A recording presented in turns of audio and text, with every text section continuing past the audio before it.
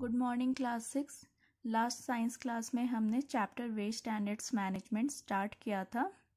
आज हम इसको लास्ट क्लास की क्लास को थोड़ा समराइज करेंगे और हम आगे इसे एक्सटेंड करेंगे। ओके सो लास्ट क्लास में हमने क्या देखा था कि वेस्ट क्या होता है? तो वेस्ट वो होता है जिस चीज़ को हम एलिमिनेट कर देते हैं डिस्कार्ड कर देते हैं या फिर जिस चीज़ को हम वापस यूज़ में नहीं ला पा रहे हैं और हम उसे फेंक दे रहे हैं। दैट इज़ कॉल्ड वेस्ट ठीक है? और वेस्ट को रबिश ट्रैश जंक और गार्बेज भी बोलते हैं। अब कितने टाइप ऑफ़ वेस्ट देखा था हमने? तो हमने देखा था there are on the basis of two types of classification ठीक है? This is the first classification this is the second classification there is a और over here okay so first classification में हमने क्या देखा था? हमने देखा था कि एक हाउस होल्ड वेस्ट होता है, जो हमारे घर से निकलता है कचरा उसको हम हाउस होल्ड वेस्ट बोलते हैं। जो इंडस्ट्रीज़ का कचरा होता है, उसको हम इंडस्ट्रियल वेस्ट बोलते हैं। जो एग्रीकल्चर फार्म्स का कचरा होता है, उसको हम एग्रीकल्चर वेस्ट बोलते हैं। अब जो दूसरा क्लासिफिकेशन था दैट वाज बेस्ड ऑन कि वेदर द सब्सटेंस और whether the waste can be decompose to a smaller substance और नॉट ठीक है? मतलब कि जो वेस्ट निकला है, उसको हम डिकम्पोज कर सकते हैं या नहीं कर सकते हैं उस बेसिस पे हमने वेस्ट को दो तरीके से क्लासिफाई कर रखा है। एक बोलते हैं बायोडिग्रेडेबल वेस्ट दूसरा बोलते हैं non biodegradable waste biodegradable waste का मतलब वो हुआ जो कि ब्रोकन डाउन हो सकता है डिकम्पोजर्स के द्वारा into small piece small things ठीक है? और non biodegradable non biodegradable waste उसको बोलते हैं the waste which can not be broken down into simpler substance by the decomposers okay अब हम सबके एग्जाम्पल्स देखा था हमने। हाउस होल्ड घर से हमारे क्या कचरा निकलता है? वेजिटेबल पील्स निकलते हैं लेफ़्ट ओवर फ़ूड निकलता है रैपिंग मटेरियल निकलता है टिन कैन डोमेस्टिक सीवेज होता है इंडस्ट्रियल वेस्ट में क्या था? Chemicals metal scraps plastic waste water agriculture waste में क्या था? फर्टिलाइज़र जो हम यूज़ करते हैं हस्क जो हम यूज़ करते हैं चाफ जो हम यूज़ करते हैं। बायोडिग्रेडेबल वेस्ट में क्या होगा? जो कि ब्रोकन डाउन हो सकते हैं easily in the environment by the decomposers उसके एग्ज़ाम्पल क्या होंगे? घर में सब्जियों की जो ये निकलती है, छिलके निकलते हैं। हस्क जो निकलता है चाफ जो निकलता है लीव्स जो होती है पेपर हो गया मैन्योर हो गया। नॉन बायोडिग्रेडेबल वेस्ट में क्या आएगा? प्लास्टिक टिन मटेरियल्स ठीक है, जिसको कि हम ब्रेक डाउन नहीं कर सकते even after thousand of years and they remain in the atmosphere for a very long time फिर हमने बोला था कि जब भी वेस्ट जनरेट होता है, जहाँ भी वेस्ट जनरेट हो रहा है वेस्ट मैनेजमेंट करने के पहले जो द फ़र्स्ट स्टेप है, उसको बोलते हैं वेस्ट सेग्रीगेशन ठीक है मतलब कि जो वेस्ट जनरेट हुआ है, उसको अलग अलग तरीके से क्लासिफाई कर लेना या सेपरेट कर लेना. ठीक है तो यहाँ पर हमने वही पढ़ा था कि फ़र्स्ट स्टेप क्या है? वेस्ट मैनेजमेंट के लिए वेस्ट सेग्रीगेशन है। हर घर में डिफरेंट टाइप्स की बिन्स होनी चाहिए डिफरेंट काइंड ऑफ़ वेस्ट के लिए। मतलब कि हमारे घर में दो तरह की बिन हमेशा होनी चाहिए जिसमें एक में हम ड्राई वेस्ट डालें और एक में हम वेट वेस्ट डालें। ठीक है? और अगर घर से हमारे कुछ टॉक्सिक मटेरियल निकल रहा है जैसे कि बैटरी निकलती है जैसे कि आ, कोई केमिकल निकल रहा है तो उसे हमें एक तीसरे टाइप के डब्बे में डालना चाहिए जिसमें कि टॉक्सिक वेस्ट करके हमें उसमें मार्क और लेबल लगा देना चाहिए। तो वेस्ट जनरेट जब होता है वेस्ट को सेपरेट करना बहुत ज़रूरी है। ठीक है? बिफोर द वेस्ट मैनेजमेंट यहाँ पर आप देख सकते हैं, हम यहाँ पे क्या बोला था हमने कि हम जो वेस्ट जनरेट होता है, उसे हमें सेपरेटली कलेक्ट करना चाहिए, ठीक है? तो आपने देखा होगा हॉस्पिटल्स में या फिर सोसाइटीज़ जो होती है, घर की बड़ी बड़ी जो अपार्टमेंट्स होते हैं सोसाइटीज़ होते हैं, वहाँ पे कलर कोडिंग के डब्बे होते हैं। कलर कोडिंग वेस्ट के डब्बे मतलब कि एक ब्लू कलर का डब्बा होगा, एक ग्रीन कलर का डब्बा होगा, एक रेड कलर का डब्बा होगा। तो उसका मतलब क्या होता है? यहाँ पे देखिए, अगर कहीं पर आपको ग्रीन कलर का गार्बेज बिन दिख रहा है, ठीक है? तो वहाँ उसमें क्या डालना है? उसके आपको डालना है वेट वेट प्रोडक्ट्स ठीक है? वेट वेस्ट डालना है आपको। जो भी गीले वेस्ट आप प्रोड्यूस कर रहे हो अपने घर के, वो जाएँगे ग्रीन कलर के डब्बे में। जो भी ड्राई वेस्ट प्रोड्यूस हो रहा है आपके घर में, वो जाएँगे ब्लू कलर के डब्बे में। और जो कि हैजार्डस है हैजार्डस मतलब कि जो कि टॉक्सिक है, जो कि हार्मफुल वेस्ट है, जैसे कि बैटरी केमिकल्स मैंने बोला, वो हमेशा लाल कलर के डब्बे में जाते हैं। रेड मीन्स डेंजर ठीक है? अब हमने देखा था कि नॉन बायोडिग्रेडेबल वेस्ट जो होता है, उसको मैनेज कैसे करना होता है? नॉन बायोडिग्रेडेबल का मतलब क्या होता है? नॉन बायोडिग्रेडेबल का मतलब होता है कि जिस, जो वेस्ट जिसको हम ब्रोक डाउन नहीं कर सकते हैं into smaller substance with the help of decomposers और जो कि एटमॉस्फेयर में बहुत लंबे समय तक के लिए सर्वाइव करते हैं और हमारे एटमॉस्फेयर और इन्वायरमेंट को हार्म भी कर सकते हैं। ठीक है? तो उसके लिए हमने पढ़ा था कि उसके वेस्ट मैनेजमेंट में थ्री आर स्ट्रैटेजी इंक्लूड होती है, ठीक है? जब भी नॉन बायोडिग्रेडेबल वेस्ट जनरेट होगा, उसके मैनेजमेंट में थ्री आर स्ट्रैटेजी इंक्लूड होगी। पहला आर का मतलब क्या होता है? रिड्यूस किसी भी रिसोर्स को कम यूज़ करना रीयूज़ किसी भी रिसोर्स को वापस रीयूज़ करना सो so दैट कि वेस्ट जो जनरेट हो रहा है, वो कम जनरेट हो। रिसाइकल किसी भी रिसोर्स को रिसाइकल करके दूसरे फॉर्म में लाना और फिर उसको वापस यूज़ करना सो so दैट कि जो वेस्ट जनरेट हो रहा है वो बहुत कम जनरेट हो। So you have to remember this ठीक है? Managing of the non biodegradable waste कैसे होगा? Waste management strategy includes three R पहला रिड्यूस है, कम यूज़ करो, दूसरा री है मतलब कि उसको वापस से वापस यूज़ करो एंड तीसरा रिसाइकल होता है। ठीक है? ये मैंने आपको बता दिया। अब ये हमने पढ़ा था टॉक्सिक वेस्ट ठीक है? टॉक्सिक वेस्ट क्या होता है? तो ये एक अलग टाइप का वेस्ट जनरेट हो रहा होता है, जो मेनली इंडस्ट्रीज़ में जनरेट होता है ठीक है?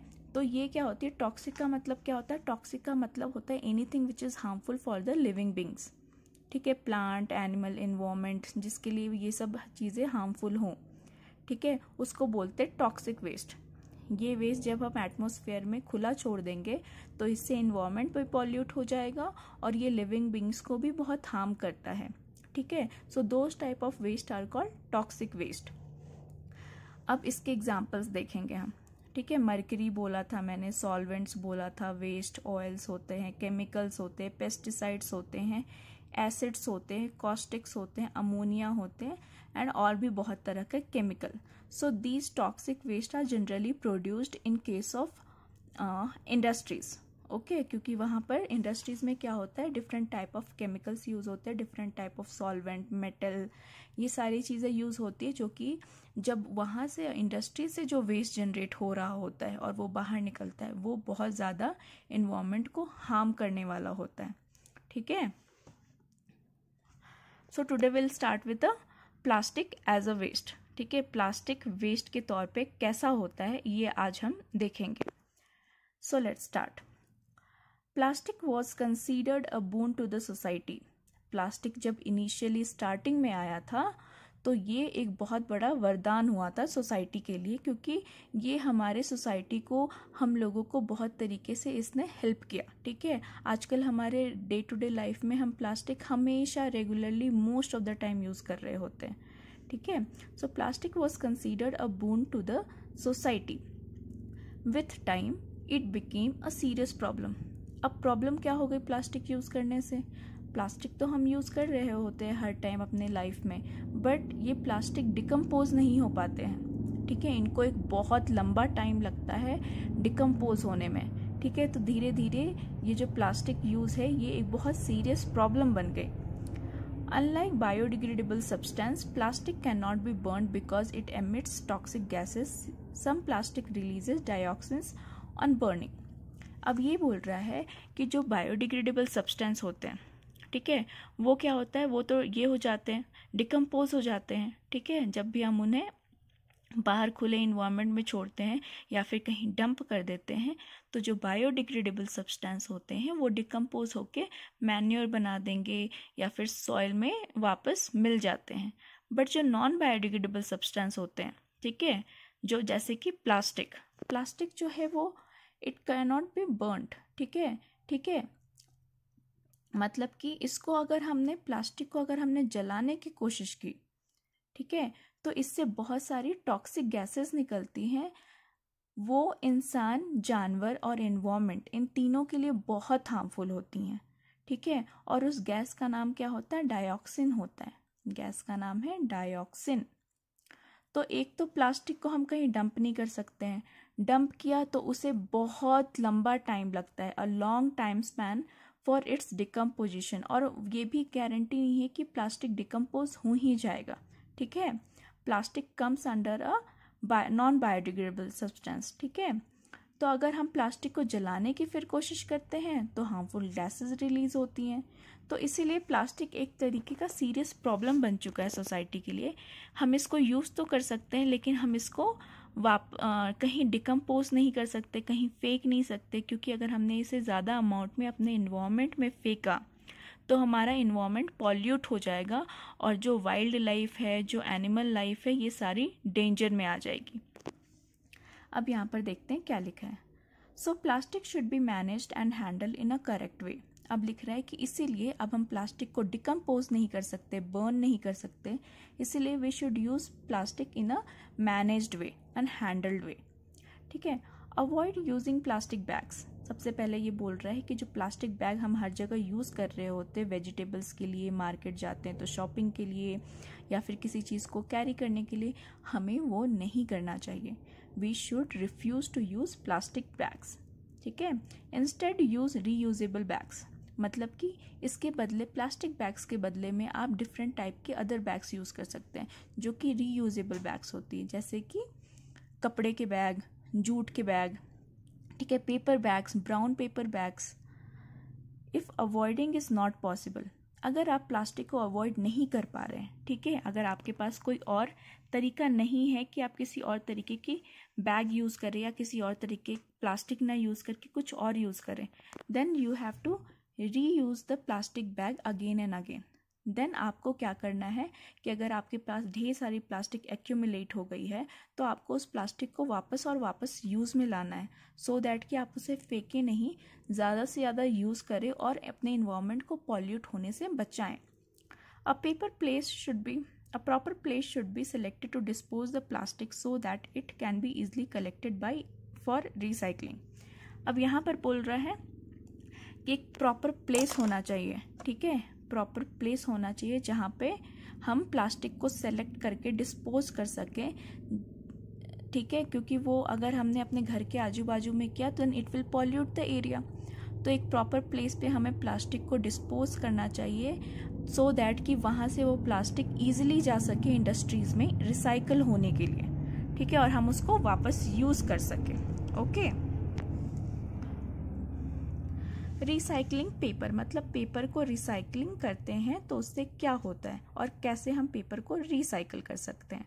वापस यूज़ में ला सकते हैं। Paper is a biodegradable substance अब फ़र्स्ट ऑफ़ ऑल ये क्या बोल रहा है? जो पेपर होता है वो बायोडिग्रेडेबल सब्सटेंस है। मतलब कि अगर हमने उसको इन्वामेंट में छोड़ा तो वो डिकम्पोज हो जाएगा with the help of decomposes decomposers ठीक है? तो it is a biodegradable substance paper is made from trees. Paper कहाँ से आती है? पेपर आती है पेड़ से। पेपर पेड़ से बनता है। If we use paper in large quantities more trees would be cut leading to deforestation अब यहाँ पर बोल रहा है कि पेपर हमें बहुत तरीके से यूज़ करना चाहिए मतलब कि बहुत लार्ज क्वांटिटी में हम अगर पेपर यूज़ करने लग जाएँगे तो पेपर को बनाने के लिए लार्ज क्वांटिटीज़ ऑफ़ ट्री भी चाहिए होगी। फिर बहुत सारी ट्री को काटने के का, जब हम काटेंगे तो उसके कारण डिफॉरेस्टेशन हो जाएगा। डिफॉरेस्टेशन हो गया तो जो अर्थ की एटमोसफेयर है वेदर है वो सब कुछ चेंज होने लग जाएगी। ठीक है? Because we know trees are very important for the survival of the human beings ठीक है? For the survival of the living beings even for the plant ठीक है? क्योंकि वहीं से आती है ऑक्सीजन प्लांट्स ही प्रोड्यूस करते हैं ट्रीज़ ही प्रोड्यूस करते हैं। इसलिए जो पेपर है, हमें वो बहुत सलीके से यूज़ करना चाहिए। हमें कभी भी पेपर ऐसे ही जो हमारे नोटबुक में बच जाती हैं लास्ट में, वो ऐसे ही फेक नहीं देनी चाहिए। उन नोटबुक के लास्ट के पेपर को हमें एक जगह सेग्रीगेट करके सेपरेट करके उसकी एक अलग रफ नोटबुक बना लेनी चाहिए। ताकि हम पेपर को वापस अच्छे तरीके से यूज़ कर सकें और ऐसे ही फेंके ना, ताकि उसके कारण डिफॉरेस्टेशन ना हो। ठीक है? During recycling the discarded paper goes through a series of process including sorting repulping deinking and finally refining अब बोल रहा है जब पेपर की रिसाइकलिंग होती है, ठीक है? जैसे कि हम जो लास्ट ईयर की नोटबुक होती है, वो फेंक देते हैं। ठीक है? तो वो सा जो न्यूज़पेपर होती है वो सारी फेंक देते हैं ओल्ड न्यूज़पेपर तो यही सार, सारा पेपर कहाँ जाता है? ये सारा पेपर जाता है रिसाइकलिंग के लिए. रिसाइकलिंग में क्या करते हैं? जो भी डिस्कार्डेड पेपर है उसको एक प्रोसेस के थ्रू रिसाइकल करते हैं. वो प्रोसेस में क्या क्या आता है? पहला चीज़ सॉर्टिंग मतलब हम उसको सॉर्ट करते हैं अलग अलग करते हैं. फिर रीपल्पिंग करते हैं. रीपल्पिंग क्या होता है? उसके उसको ये करते हैं उसको उसके, उस पेपर को भिगोकर हम उसकी एक, उसका एक लंप बनाते हैं, ठीक है? फिर होती है डी इंकिंग। डी इंकिंग में क्या होता है कि उस पेपर में जितनी भी इंक है, उस चीज़ों को निकाला जाता है, इसलिए इसको बोलते हैं डी इंकिंग और फाइनली रिफाइनिंग करते हैं। रिफाइनिंग मतलब उसको जिस फॉर्म में हमें यूज़ करना है पेपर को, उस फॉर्म में लाते हैं। जैसे कि हमें अगर वापस नोटबुक बनानी है, हमें अगर वापस न्यूज़पेपर बनाना है, हमें अगर वापस एक के ट्रेस भी बनते हैं, ठीक है? तो इसी पेपर से जो कि पेपर हम डिस्कार्ड कर देते हैं, जो ओल्ड न्यूज़पेपर हम फेंक देते हैं, उससे ये सारे प्रोसेस होने के बाद फिर वापस पेपर रिसाइकल होके हमारे पास डिफरेंट फॉर्म्स में पहुँचते हैं। ठीक है? रिसाइकल्ड न्यूज़पेपर में also be use to make egg trees यही चीज़ मैं आपको बता रही थी कि जो रिसाइकल्ड पेपर होता है ना, इसको ये सारे प्रोसेस होने के बाद इससे एग की ट्रेज भी बनाते हैं। फ़ूड के कार्टून्स बनाते हैं and various other utility items और बहुत अलग तरह की यूजफुल आइटम्स भी बनाते हैं। So we should always use paper in a proper way proper and utilized way ठीक है? कंजर्व करो पेपर को, फेंको मत इधर उधर, ठीक है? अगर नोटबुक की कोई पेपर बच जाती है, किसी नोटबुक में लास्ट की कुछ पेपर्स बच गई हैं तो उसे वहाँ से निकाल कर सारी नोटबुक्स में से एक नई नोटबुक बना लो, ताकि वो आपके रफ नोटबुक के जैसे यूज़ हो पाए, ठीक है? मैनेजिंग बायोडिग्रेडेबल वेस्ट अब हमने लास्ट टाइम क्या पढ़ा था? हमने लास्ट टाइम पढ़ा था कि नॉन बायोडिग्रेडेबल वेस्ट को मैनेज कर सकते हैं थ्री आर के बेसिस पे. रिफ्यूज़ रीयूज़ एंड रिसाइकल ठीक है? अब हम यहाँ पे पढ़ेंगे बायोडिग्रेडेबल वेस्ट को कैसे मैनेज कर सकते हैं। तो यहाँ पर दो मेथड के बारे में मेंशन किया गया है। एक मेथड है कॉम्पोस्टिंग दूसरा मेथड है लैंड फिलिंग ठीक है? तो पहले हम कॉम्पोस्टिंग के बारे में पढ़ेंगे।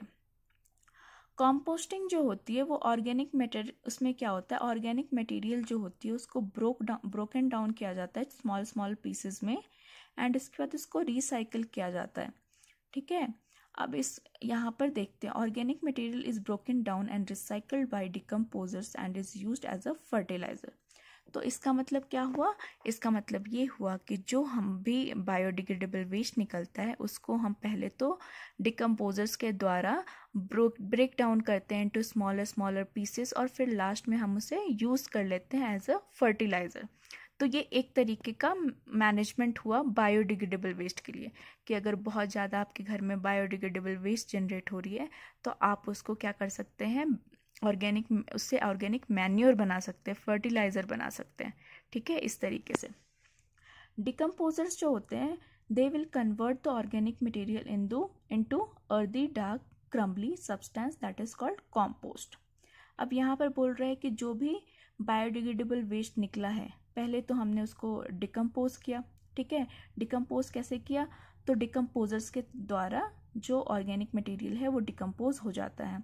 ठीक है? और वो उसको ऑर्गेनिक मटेरियल को मतलब कि जो बायोडिग्रेडेबल वेस्ट है, उसको अर्दी डार्क क्रम्बली सब्सटेंस जो कि कॉम्पोस्ट होता है, उसमें कन्वर्ट कर देते हैं। डिकम्पोजर्स हमारे इन्वामेंट में सॉयल और एयर में प्रेजेंट होते हैं। ठीक है? वो अलग तरह के ऑर्गेनिज्म होते हैं, जो कि ऑर्गेनिक मटेरियल जो या फिर बायोडिग्रेडेबल वेस्ट जो होता है, उसके ऊपर काम करके उसको ब्रेक डाउन कर देते हैं स्मॉल स्मॉल पीसेस में। ठीक है? नाउ अब जी अब जो ये कॉम्पोस्ट बना है this compost is use as an organic manure अब ये जो कॉम्पोस्ट बन गया बायोडिग्रेडेबल वेस्ट वेस्ट से, उसको हम as a organic manure use करते हैं। अब जो डिकम्पोजर्स हैं, उसके बारे में देखेंगे। Decomposers require two types of plant product the greens and the browns अब जब हम ये कॉम्पोस्टिंग प्रोसीजर कर रहे होते हैं और हम जो बायोडिग्रेडेबल वेस्ट है, उसको डिकम्पोज होने के लिए एक जगह पर छोड़ रहे होते हैं तो उस टाइम पे हमें इन दो बातों का ध्यान रखना है कि उस डिकम्पोजिंग उस कॉम्पोस्टिंग प्रोसेस के थ्रू उस कॉम्पोस्टिंग प्रोसेस के थ्रू प्रोसेस के थ्रू के टाइम पर वहाँ पर प्लांट प्रोडक्ट की द ग्रीन पार्ट होनी चाहिए एंड द ब्राउन पार्ट होनी चाहिए। ठीक है? क्योंकि जो डिकम्पोजर्स होते हैं, वो अच्छे से वर्क कर सकते हैं इन दोनों के प्रेजेंस में। ठीक है? अब ग्रीन्स कहाँ से आएँगी? ठीक है? तो ग्रीन्स आएँगी सारे ग्रीन पत्ते वेजिटेबल पील जितने भी फ्रेश ग्रीन थिंग्स हैं, ठीक है? एंड जो ब्राउन्स होंगे, वो डेड लिविंग थिंग्स होंगे, जैसे कि ड्राई पत्ते रूखी घास, ठीक है? ये सारी चीज़ें। The process of composting involve burning the biodegradable waste into compost pits अब कॉम्पोस्टिंग करने का जो प्रोसीजर है, उसमें क्या होता है? हम पहले तो पिट्स बनाते हैं। Those pits are called compost pits ठीक है? हमने वो पिट बना लिए, उसके अंदर हम सारे बायोडिग्रेडेबल वेस्ट को डाल देते हैं along with the green and the browns ठीक है? ये सारा हमने डाल दिया, हमने उसको ढक दिया तो उससे क्या निकल के आता है? कॉम्पोस्ट निकल के आता है, जो कि होता है अर्दी डार्क, क्रम्बली। ठीक है? और उसको हम यूज़ कर सकते हैं एज ए ऑर्गेनिक मैन्योर अब देखते हैं वर्मी कॉम्पोस्टिंग में क्या होता है। In vermicomposting we add red worms to the compost pit अब नॉर्मली हम कॉम्पोस्ट कॉम्पोस्ट पिट में क्या डाल रहे हैं? हम डाल रहे हैं बायोडिग्रेडेबल वेस्ट ग्रीन्स ब्राउन्स ठीक है? लेकिन वर्मी कॉम्पोस्ट में हम क्या डालते हैं? उसमें हम रेड वॉर्म्स भी ऐड कर देते हैं। ठीक है? These worms act on the waste and degrade them into nutrient rich manure in about three to four weeks अब ये जो वॉर्म्स डाले हमने, वर्मी कॉम्पोस्टिंग के थ्रू ठीक है? वहाँ पर ये वॉर्म क्या करेंगे? ये क्या करेंगे? ये उस वेस्ट पे काम करेंगे, उनको डिग्रेड करेंगे डिकम्पोज करेंगे और उससे न्यूट्रिएंट रिच मैन्योर बना देंगे in about three to four weeks मतलब कि nearly about in one month okay so आपको समझ में आ गया? पहला मैनेजमेंट ऑफ़ बायोडिग्रेडेबल वेस्ट क्या है? कॉम्पोस्टिंग कॉम्पोस्टिंग में हम क्या करते हैं? बायोडिग्रेडेबल वेस्ट लेते हैं थोड़ा सा ग्रीन्स लेते हैं एंड थोड़ा सा ब्राउन्स लेते हैं और हम उसे एक कॉम्पोस्ट पिट में डालकर छोड़ देते हैं। एक महीने के बाद उससे एक ऑर्गेनिक मैन्योर बन जाता है जो कि हम अपने प्लांट्स के लिए, हम अपने खेतों में फार्म्स में यूज़ कर सकते हैं। Now land filling land filling is a method of disposing waste by burying it अब ये बोल रहा है कि लैंड फिलिंग में हम क्या करते हैं? ये एक ऐसा मेथड है जिसमें हम जो बायोडिग्रेडेबल वेस्ट है उसको डिस्पोज कर देते हैं, उसको बरी करके। ठीक है? By burying it this is an old age method ये बहुत पुरानी मेथड है। Almost all countries in the world use this method ठीक है? दुनिया में जितनी कंट्रीज़ हैं, वो almost all the countries in the world ये मेथड यूज़ करती हैं। They use this method because this is an old age method The disposal area in the case, the disposal area in this case should not bring about any environment hazard. अब ये बोल रहा है कि यहाँ पर तो हम सारे बायोडिग्रेडेबल वेस्ट को लेकर डिस्पोज कर दे रहे हैं एक लैंड के अंदर, ठीक है बाय बरिंग इट तो ये जो डिस्पोजल एरिया है it should not bring any environmental hazard मतलब कि वो जो डिकम वो जो लैंड एरिया होगा, वो हमें उसमें हमें ऐसे डिकम्पोज करना, ऐसे बरी करना होगा बायोडिग्रेडेबल वेस्ट को सो so दैट कि वो इन्वामेंट में कुछ हार्मफुल इफ़ेक्ट्स ना लाए। ठीक है? Once the land is filled मतलब एक बार अगर हमने गड्ढा खोदा, उसके अंदर हमने बायोडिग्रेडेबल वेस्ट को बरी कर दिया तो उसके बाद जब वो लैंड फिल हो गया है वेस्ट से we can redevelop a park on the same land अब ये बोल रहा है कि अब हम उस लैंड को आराम से ऊपर से भर देते, भर सकते हैं और उसके ऊपर हम एक पार्क बना सकते हैं, उसके ऊपर हम गार्डन बना सकते हैं, उसके ऊपर हम कोई भी किसी भी तरह की प्लांटेशन कर सकते हैं। तो यहाँ पर आपको ये समझना बहुत ज़रूरी है कि इस वाले मेथड में आप जो है वेस्ट को ले रहे हैं और उसे चुपचाप ज़मीन के अंदर गाड़ दे रहे हैं। ठीक है? और जो ज़मीन जब भर जाती है तो हम उसको भर दे, हम उसे मिट्टी से ऊपर से ढक दे रहे हैं उस एरिया को, ठीक है? जो हमने पिट बनाया था और जहाँ पे हमने बायोडिग्रेडेबल वेस्ट को बरी कर दिया है और उसके बाद उस ऊपर के लैंड को हम आराम से यूज़ कर सकते हैं as a park as a planting area as a farm ठीक है? या फिर उसके ऊपर हम कुछ भी अलग तरीके से सोच कर डेवलपमेंट भी कर सकते हैं। डेवलपमेंट इन द सेंस कि बिल्डिंग्स बना सकते हैं, घर बना सकते हैं, ठीक है? तो यहाँ पर ये जो लैंड है, जिस, जो यूज़ हो रही है बरिंग कर बरी करने के लिए वेस्ट को, वो लैंड वापस हम रीयूज़ कर दे रहे हैं, ठीक है?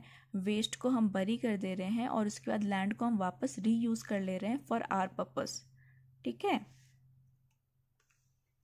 So this was the end of it